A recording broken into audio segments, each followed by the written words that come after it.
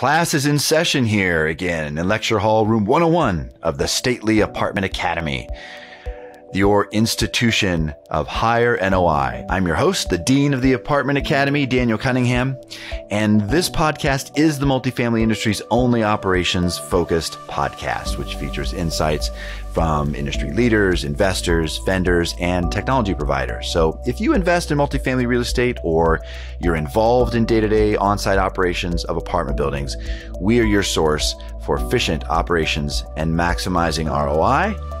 Classes in session. So today's professor, our guest lecturer, is Michelle Betchner Cowan who is the managing director of national client services for Greystar. And Michelle is going to share with you some very interesting uh, perspectives from really the leader in multifamily operations and what they think about in terms of what's important to them in providing quality um, operations, a quality experience for residents. And I know you're going to have some things to take away. So here we go. Enjoy. Well, hi, Michelle. Welcome to the Apartment Academy. Um, look, you've been in, in the multifamily world about 14 years, a little over half that time with Greystar. Um, can you just start us off by talking about your path to this role and, and what, what does it mean to be a managing director of, of national client services?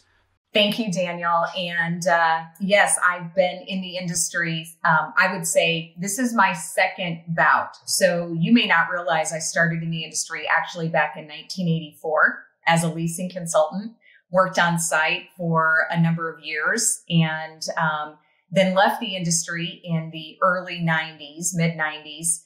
Uh, to go back and get my degree in uh, microbiology. And I have two masters, one in curriculum instruction, the other in natural science. And so I taught public high school for seven years. And so I came back in the industry in 2005. So this is my second stint. And since then, yes, um, I've been with Greystar for the last eight years, overseeing the client services group. And what does that what does that mean to provide client services? Um, that's a great question. So in in my department, we are interfacing both with existing clients and new clients, and almost in two tracks. The first one is um, trying to go out and um, you know obtain um, new business um, with our existing clients and new clients. So any assets that are either stabilized and there's a transaction where a property is going through a disposition or maybe a management change and then also pre-development for new ground, you know, new construction ground up. And then the second aspect of client services is our account management or our relationship lead program, where we have additional resources that were assigned to our clients that have large portfolios and they have geographic dispersion. And what we're trying to do is really drive consistency within those portfolios and help support the client um, with one point of contact and then also assist the operations to drive that consistency in in the operational aspect of that that client's portfolio. So michelle you know greystar um, is not only the largest operator in the country by far but but at the same time very well respected. Um, so what is it that what is what would you say sets Greystar apart? I, I know probably want to say people, but I would say I'll, I'll, let you talk about people. But apart from people, um, uh, what what is it that that you think Greystar does that really sets it apart from from other operators? That's a great question, and you are correct. The people. Um, we are in a people business, but I would say other than that is the the aspect of you know because of our depth we're able to offer a lot of resources that maybe other smaller companies cannot provide. So when you look at the different aspects that we manage, right? We manage active adult. So we have an active adult, an active adult division. We have student, so we have a student division. We have our third party, and then we also have our owned assets, right? So we've got all of these different funnels or tracks of assets that we're managing that we really can provide some wonderful data and introspection and retrospection to our clients. And then of course we also have the, you know, construction management division. And then when you look at all the different support departments that we have across, you know, the the scope of our business, we really have the ability to take, I would say, sometimes complex problems and really try to break them down and create solutions, not only for the operations team, but also for the client. Yeah, uh, I think that's not a surprise. I mean, the size and scale of of Greystar, I mean, certainly must allow for for for capabilities that smaller operators just just frankly can't duplicate. Um, and you know, look, as you know, I have another persona where I spend most of my day, which is which is CEO of Leonardo twenty four seven, which which has been a software partner of Greystars for a while. But um, during that time, you know, I've had the privilege to really get a kind of a peek under the operations uh, hood of Greystar. One of the things that um, is really impressive it, to see in action is the thought that goes into the operating platform. You know, the amount of of resources dedicated to establishing best practices, selecting technologies to deploy, developing training. Um, uh, what would you say um, of of all of those things? And, and again, um, resources that a lot of other management companies may not have, right? To, to, to spend that kind of time. But if of all of those times, of all those areas where you spend time, where Greystar spends time thinking about operations, if you could just focus on one of them, what, what delivers, if you're a smaller operator and could only had limited resources, what has made the biggest difference, do you think, in terms of thinking about the operating platform? What's made the biggest difference in, in operations in the field? You know, that's a great question. And I think that, you know, because our world today is so focused on technology, I'm probably going to focus on the response is really being, you know, technology focused. So when you're looking at the resources that we deploy for the, you know, the property management system and understanding all the different nuances that can bolt onto it to create really operational efficiencies for the on-site team. So whether it's, you know, a technology for lead management or if it is, you know, creating the financial package, creating the budget packages um, that the operations team has to do. If you're focused on just all the multi-channel marketing coming in and looking at your marketing data to understand your resources and how, you know, what channel of marketing is working best and just really creating those efficiencies for the on-site team, I'd have to say that our technology group and then all that surrounds that, right? So it is a little bit of marketing, it's a little bit of IT, it's a little bit of sometimes risk and so forth, but everything focuses, everything that touches, you know, prospects, it touches residents, it touches team members, it touches the accounting department, it touches clients all of that technology really does touch all of the audiences that we interface with. So I would say that the depth and the resources and support that we offer on the technology side is probably second to none. We have experts in all of those different channels that all provide input to really create that efficiency and that effectiveness that allows our operations teams to hopefully maneuver in the best fashion that they can in attracting prospects, in creating efficiencies for, you know, and a really good customer experience for both prospects and residents, right? And then all the data that's used internally from an operational perspective. Yeah, it's interesting. So, um, again, Greystar is a little bit like E.F. Hutton. Boy, am I dating myself by using that reference. I don't know if you know what that means, but, but, you know, when E.F. Hutton talks, people listen. That used to be the saying when I was growing up. Um, and I feel like when Greystar uh, goes through that process of selecting vendors and technology and equipment, that sort of thing. Uh, some of that ends up becoming the standard in the industry as a result. Would you mind just expanding a little bit and sharing with with um, the listeners, the students here at the academy today? Um, what what are some of the specific kinds of technologies that Greystar has deployed as part of your technology platform? Yeah, that's a great question. And, you know, every day it changes and there's more things that are added, uh, right? And so, I mean, it's, you know, some of the basics, right? Because you have your standard property management system. So, you know, I kind of consider that that's, you know, that's kind of the vehicle, right? And that's, that's the baseline. And then from there, I would say, obviously, revenue management um, has been a key component to really drive um, you know, the rents, the, the revenue that we would like. Um, you have items such as, um, oh my gosh, you know, uh, you're talking, you know, SEO and SEM that, you know, different channels we're looking at. You're looking at, um, you know, things such as to you know i don't want to really go down product specificity but thing that allows you to do self-guided tours and virtual tours especially in the environment of covid has been absolutely instrumental and then you have things such as you know even your product right with you know leonardo 24 7 where we're using that to really help guide the teams and help them stay on task because there's so many things that we have to utilize um, you know, we have lighting audits, we have annual inspection reports, we have daily tasks that really it's it helps to create those, I would say, consistency so that we don't miss things.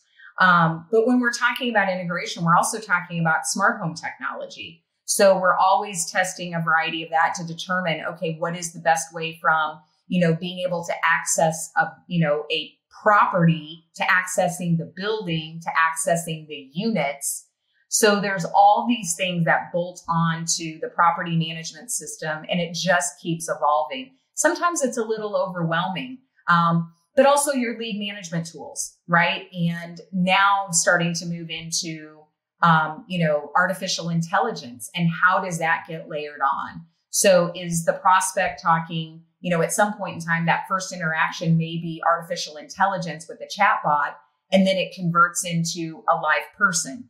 So these technologies, um, I would say, are layered and they're getting more complex as we continue to evolve as an industry. Yeah, I think that, um, you know, the pandemic has really accelerated in some cases, if not the development, certainly the, the acceptance of some of these technologies. You, you, mentioned virtual touring and the bots and that sort of thing. Let me ask you, what, what do you think, um, what have we learned during this process, just specifically around um, the intersection of technology and touring and marketing. Okay, what have we learned that we had to sort of resort to in during the pandemic that you think will stick with us as a, as as an ongoing like new way of doing things? That's a that's a great question, and I think there's probably a number of things. I think originally, or I should say, initially, when COVID hit, you know, we had shelter in place, and you know, the multifamily industry was known as a, we were an essential service. People had to have a place to live. So we had to have our doors open, so to speak, maybe not, you know, physically open, but we needed to be able to still service our residents. But that also means, you know, people moving out and then people moving in. And so in order to get people to move in, we had to still be able to facilitate tours. But then you also had the, you know, the aspect of how do we do that in a fashion that the on-site team feels comfortable in and you know reduce risk but also the prospect so i would say that our industry in general has probably been slow to adopt technologies where other industries maybe have you know advanced sooner. And you know the single family home industry is a great example right? They've been using lock boxes and and you know self touring for quite a while. And so when it when COVID hit, we really had to move to those self-guided tours and doing tours with prospects if they weren't coming in to be able to do it, you know, FaceTime and Zoom and, and things that we have not, I mean, we've really got creative. I don't think that's going to go away. I think we have a certain subset of prospects that want to do things on their own time and by themselves because they feel comfortable and they like that autonomy and that ability to do things that the way that if they want to spend more time in a room or not, they they want to do that, right? It's going to be on their terms. And I think you also have some individuals that, you know, as we continue through this, you know, on the on the pandemic, that you have a, a, a group of people too that they they want the interaction, but they want it virtually. They don't want to be in your face. They want you to help them and so they need that extra attention or that ex- extra explanation where those tours, you know, still via FaceTime or Zoom or whatever they are, is still going to happen. So I think that COVID in some fashions forced us to have these disruptions. And I think it will continue to evolve this in a fashion a lot faster where we may not have had adoption on both sides, both meaning prospects and our operations team for, you know, three to five years. And we had to do it in, you know, three weeks to five weeks. So I think that will stick for sure. Yeah. I've, I've, I've heard similarly from other operators and, uh, you know, I'm sure when you were a, a baby leasing agent, um, you know, you probably heard us say, or somebody probably said to you, you're not selling the property, you're selling yourself. Like, you know, people want to be comfortable with the leasing team first. And, and we have, I think, proved that maybe not always true. Um, that there is certainly a class of asset that can sell itself. Um, and, and certainly a class of, of prospect that can sell themselves. Yeah. So, um, I, I, it'll be interesting to see how that translates into how we might staff properties differently in the future as a result. Yeah, I think you know you may see some trends, you know, um, as we move down the road. But I, you know, I think one of the things that we've continued to see is that people still need a level of interaction at some point in time. It's either to get questions answered or to you know, to do a follow up because they may not know their next step, if that makes sense. So, Michelle, what is what's uh, you you alluded to it earlier? You talked about the rise of AI. Um, what what is what's Greystar looking at now? Like, what are some trends you think that that we're likely to see become more commonplace in the market? Yeah, I definitely say chatbots and the ability to interface with prospects. I think you're also going to see artificial intelligence with service request and residents kind of interfacing with those types of um, technologies as well when they're either have a question or potentially with you know service request and so forth and then i think you'll also start to see them utilized on the financial side where they are where the the different bots are looking at financials and identifying potentially um, you know, either miscoded items and things like that that would actually increase the efficiency of the accounting group. So I think you're going to see a pretty significant shift over the next several years in using bots in a in a number of fashions that I think are going to create some efficiencies in in in our industry. Yeah, interesting. The work order thing is interesting. I mean, I guess if we can if we can handle uh, tour requests with the bot, I mean, we can certainly answer what's the status of my of my work order with the bot. That's fascinating. Or I have a I have a toilet that's plugged up, right? And the bot finds out is it the master, you know, because it can tell that it's in a two bedroom, the person's in a two bedroom, right? I think there's a lot of interesting things that are going to start to uh, to transpire over the next, you know, probably you know one and a half to three years. Neat, I like it. Well, let's now now we can switch to we can switch to the people side for a little bit. Uh, I mean, you said it. This is a people centric business for sure. I mean, for, for every dollar that's generated in management fee revenue, um, you have a massive number of people deployed at a given, at a given property in comparison to, to other industries. And, um, you talked earlier about how, the challenge of making sure everybody's doing things the right way and the right time and that sort of thing. Um, so that alone is, is, is a big effort. And I'm sure training is a big part of that as well. But um, one of the the other half of the people equation here is that we're our our product is in many ways an experience for people. And when you have 300, 500, 1000 people living in a community, like you're going to have a, a cross section of people that's going to include some difficult people, um, some mentally ill people, some people that can even be violent. I mean, it, it is a, it is a, it, it takes a toll having for community managers to be on the, the front lines of that and having to sort of, doesn't happen all the time, but it happens enough that it can be, it's one of the things that makes this, this industry difficult. How does, how does Greystar create a culture that keeps people engaged and optimistic and interested in light of what can be difficult work environments from time to time? That's a really good question. And I think I'm going to answer it in a couple different fashions. And, you know, I think it, it starts with hiring the right person. And when I say the right person is, it's not, this is definitely not made for everybody, right? Um, because it is, right. we're solving problems. Underscore that yeah, we're solving problems on a daily basis.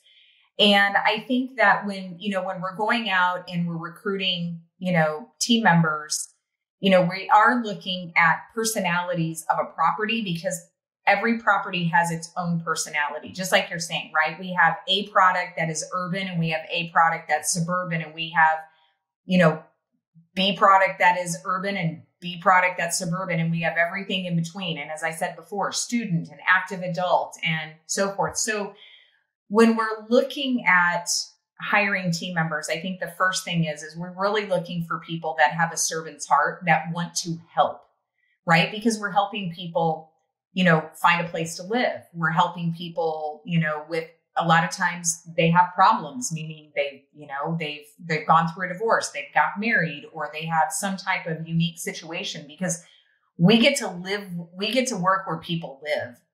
And so that's a very personal situation. So I think having people that really can be, you know, empathetic and have a servant's heart and want to really create a good level of customer service is, is really, really critical. And obviously, some of the positions that we have in the organization have less people contact, but we're going to focus on, you know, really the on-site team. And those individuals are, you know, they're they're working with our prospects, they're working with our residents, they're working with our service providers that are coming to the property. So they really do need to be people oriented. So I think hiring the best person um, is is extremely important in developing that culture. I think also is that you know when we have to be able to knowledge share and support them on the evolution of not only the products that we're asking them to operate in, right? So there's training opportunities with systems, but there's also training opportunities on soft skills. And you can teach people how to run a system, but it's not necessarily, it's very difficult to teach somebody how to be nice, right? And maybe here's some tips on how to be patient. So intrinsically, they do need to be, like I said, kind hearted individuals. But we do offer classes that are soft skill oriented to help them learn how to problem solve and have patience and learn really how to uncover what the real situation is so I think those soft skill classes are, are really important. And then also leadership development. Um, and as somebody moves up through, you know, their career path, they have opportunities to advance with soft skills, but they also have those, you know, kind of what we call A to Z, which is the systems because the systems do change.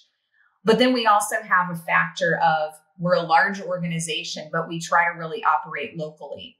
So we try to stay flat as possible so that individuals have access to their leadership team, which can be their regional manager and their director, but also the managing director of that region or city so that there's interaction with them and they really are part of a team locally so that they don't feel like they're disconnected or lost in a really big organization. But we really do focus on lo- on operating locally and then we have a variety of channels because we know that this is a, you know, it's an environment of social media like events. So how do we communicate other than email, right? And conference calls. We have a we have a, a tool that we use internally called Yammer. And Yammer is a way for us to have people be able to talk about successes and share photos and really feel connected universally within our organization and start to develop relationships outside of their local market with support departments and other operations across the country so that we're sharing best practices and they're getting high fives and kudos and that affirmation and confirmation from folks around the country that they may not even know, but start to develop a relationship. And so I think all of that packages it into really creating that culture that we want people to feel connected and that they feel supported, not just at their property, but as an entire organization, but without overwhelming them with the size of Greystar. This is interesting, Michelle. I think that um, it's unexpected to hear you as you talk about training to hear such a focus on the soft skills. I think we think of training, we think of fair housing training and, and maintenance training. Of all the training that Greystar does, how much would you say on a percent basis is, is really more on these soft skills? I would probably say at least 60 to 70% is really focused on soft skills. Wow. Huh. And and um, internally developed programs these this this training on soft skills? That's a that's a great question. So it's a combination. Some of them are internally, some of them we've gone externally, um, and you know we've gone to various organizations such as you know Ritz Carlton and also Myers Briggs and a variety um, Dale Carnegie of just a whole variety where we've pulled in a number of resources and then also consulting organizations so, you know, how do we continue to support an evolving work, you know, workforce that has, I mean, you know, we have such diversity within our workforce with over 19,000 team members. You know, we have to be able to pull in all of these different items to be able to support the teams that we have. Yeah. And I think we should just point out that these soft skills um, apply to the service team too. They they are in touch with residents. They have there's a resident experience they're having as well, and so yeah, across the board, these things are important. Seventy percent, that's amazing. Um, and I think again, just illustrative of, of the amazing resources that are brought to bear within the Grace organization to do that kind of training that it's just hard to duplicate elsewhere. And I think it's one of the things that, from, from my opinion, really make you great. Um, uh, what, what, um, shifting gears a little bit to just the operations side. So we talked about platforms that you guys are using. We've talked about the importance of training, that sort of thing. Um, but generally speaking, is what do you think one of the largest challenges is in providing great management oversight of, of multifamily properties? So I'm going to probably tackle that in three different fashions. I think it depends on who you ask. Okay, because you have we have different audiences. So you could ask our owners, and they're going to say this is the big challenge. You're going to ask our operations team and they're going to say this is the big challenge. And then you're going to ask residents and they're going to say this is the challenge, right? Oh, okay. So I'm going to break it down in, in all three segments. So I would say if you're if you're talking about owners in today's environment, I think their biggest challenge is managing the delinquency and feeling like their opportunities, meaning their hands are tied with some of the things that they can do to control those delinquencies by not being able to evict residents for non-payment.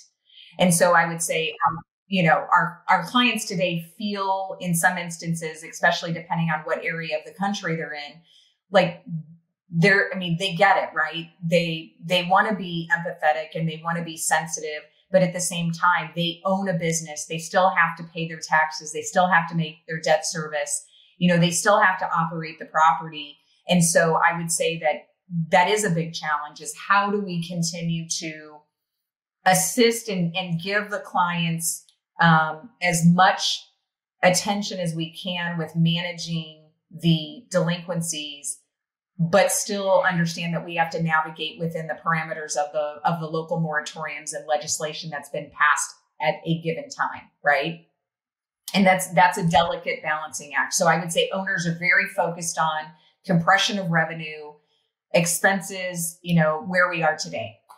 If you're looking at our ops team i would say they are constantly their biggest challenge is the time they have to complete all the all the stuff that is that is needed in a given day. And that is a constant balance for them is how do i prioritize everything that needs to be done whether it is the tours or the financial reports or you know filling out applications for um, you know federal relief of rent you know for rent relief um, and the delinquency reports that the you know the clients want. So i would say our our operations team the time and the and the demand is is a constant struggle for them. And then i think our residents are again kind of going back to the diversity right is we have you know such a diversity of, of residents that live in our communities across the united states is how do we really appeal to their needs as individuals? Because we really do have a society today that's like it's about me right? And what i want and what i want in my apartment. And what what you're selling me you've got to be very careful is because it's about me and my needs and my wants and not just this blanket, you know, you have a two bedroom, right? And and it should fit. So I would say that our residents are, you know, their biggest challenges is how do I how do I find a place that really does appeal to my needs and what I want. And they're giving me the service at the level I need.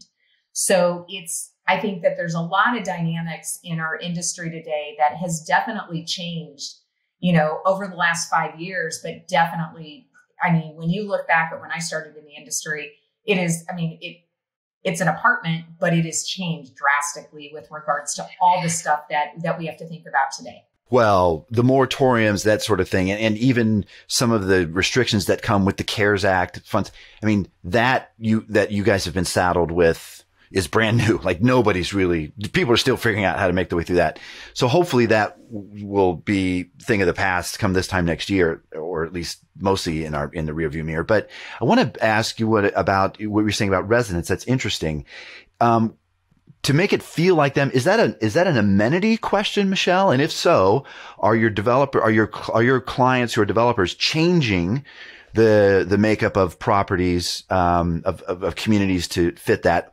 Or is it something else? Is it uh, some esoteric way you make people feel like home that's not related to the theater, right? That's in, that nobody ever goes into and uses. Yeah, you know, I think that's that's a great question, and I'm gonna I'm gonna answer that in a couple different fashions too. So I think one is it is the service level, right? Really understanding what the resident wants and what their needs are, and trying to understand who they are as an individual.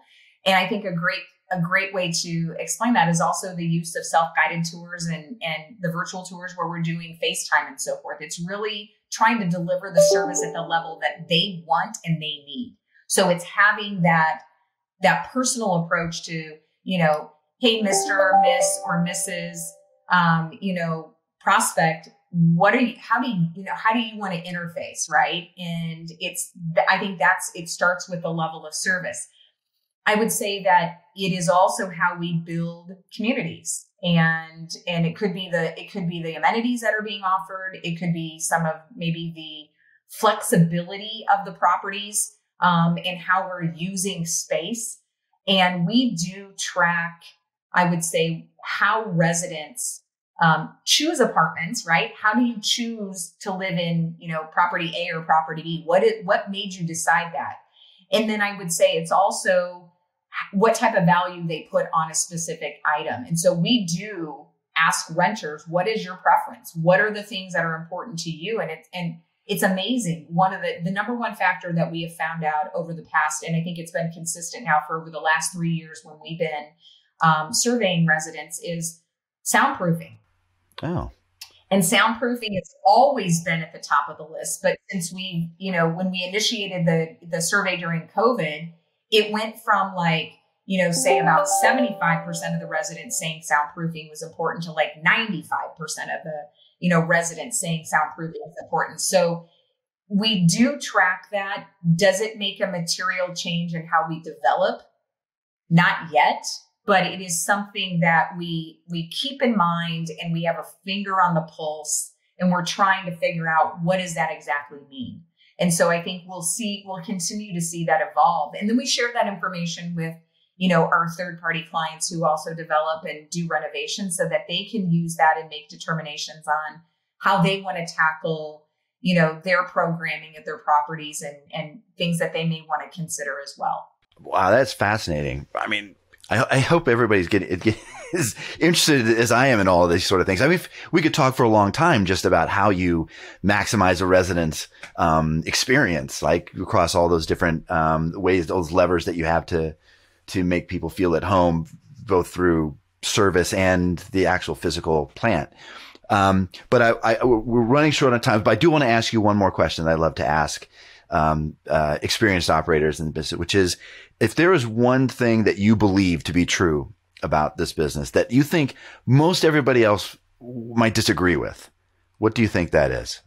Oh my gosh. Um, I would say, you know, because I'm always thinking about, right, how do we balance owners' expectations and our operations expectations? And, you know, we really, you know, we're always trying to maximize, uh, you know, property performance. And I always think about, you know, clients are like revenue, revenue, revenue. Is that, you know, when we have a property that has a performance challenge, and we've all had it. I mean, you know, it, it, any company at any given time can have a challenge at a property. And I would say, you know, one of the first things is not to run to drop rents. Um, you know, we found a lot of times that dropping rents, while it may have a short term impact, it's not always the permanent impact. And so um, we probably have some operations teams that are like, "Oh my gosh, don't say that because you know we we're priced too high." Sometimes it is priced, right? But don't that shouldn't always be the first thing that we should go and focus on is dropping rents you know, really take a step back and look at, you know, all the the four P's or the five P's, depending on yes. which era you grew up in, right? yeah, right? But it can be an aspect, but dropping rent is not always the the magic bullet. Um, sometimes it's interesting. You may actually increase rents to give a perception um, for another floor plan. So there's there's creative things that I think sometimes you have to take a step back and just while we always want to run to to drop rents, that's not always the right answer. Ah, I can hear I can hear owners across the country applauding. I know, right? Yeah. Yeah. yeah. Um, well, Michelle, this has been really enlightening. Um, I, again, we could talk for hours about this stuff. I really thank you for coming on and sharing some of your insights. Um, if, um, look, normally I say if people are interested in your, I mean, I don't, I don't think anybody doubts how they can get a hold of Greystar. But but if somebody was interested in coming to work for Greystar, or or you you have an apartment and you, would like to have somebody like you talk to them about managing it, where where would people go? They can actually reach out to me directly. They can go to greystar.com, but you can reach out to me. Um, I'm on LinkedIn. I'm on our Greystar website. Um, you can find me. My phone number, I think, is on both places as well. Give me a call, shoot me an email, and we're more than happy to help you out for sure. Great. Thank you so much, Michelle. It's good seeing you. Appreciate your time. Well, thank you for logging in and listening today here at the Academy. If you've enjoyed these podcasts and you feel like your management company could use a little advice from some of the professors here at the Apartment Academy, then go to our website, apartmentacademy.com, and click Help Me. We'll send you a questionnaire and provide individualized responses to your answers at no charge that I guarantee will offer you insights on ways you can immediately improve apartment operations. Well, I hope you took good notes today. Your only test, though, awaits you every day in the leasing office. Until next time, class is dismissed.